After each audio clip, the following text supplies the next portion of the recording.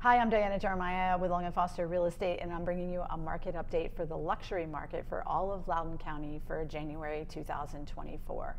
Right now, we have low inventory in the luxury market, and these homes are going to be priced above 1.4. So we've got 68 homes active on the market and coming soon to the market in all of Loudoun County that fall in this price point. Usually, our inventory is up in the 80s, so we're low on inventory right now in the last 30 days, we've seen under contract 27 homes, and normally we'll see about 40.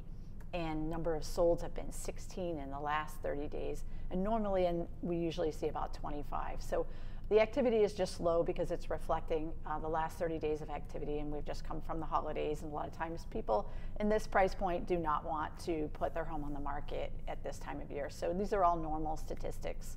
Um, we are still seeing that of the homes that did close, those sellers saw 98% of their ask price when the homes um, closed, and that is on average. So about 40% of them got over their asking price, and the rest of them on average got 98%.